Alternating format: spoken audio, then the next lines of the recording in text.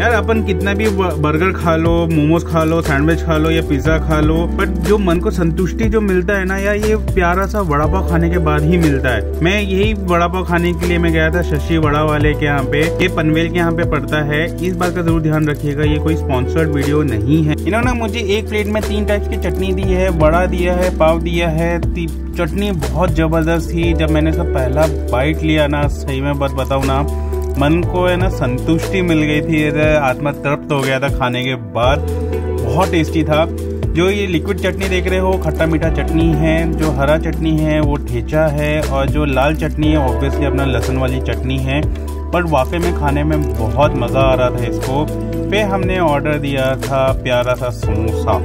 Yes samosa खाने में बहुत गर्मा गर्म था ये समोसा। उन्होंने वही सेम चटनी उन्होंने दिया है। समोसा ओवरऑल बहुत टेस्टी था। बोलते बोलते मुँह में पानी आ रहा है। बात बताऊँ, बहुत टेस्टी था। फिर इतना चटपटा, तीखा, धमाकेदार खाने के बाद फिर मैं गया था। उधर भारी है उनके शॉप के बाहर, एक शशि सोडा वाला। उनके पास कई सारे ऑप्शंस है, जैसे कि पाइन लीची कॉकटेल मॉकटेल वगैरह सब टाइप के थे उनके पास। पर मैंने लिया था हाजमा। ये मेरे को पच्चीस रुपए का ग्लास पड़ा। काफ़ी इन्होंने अच्छा मसाला वसाला डाल के दिया, इन्होंने सर्व करके दिया और ये पीने के बाद वाकई में मेरे को बहुत अच्छा लगने लग गया था।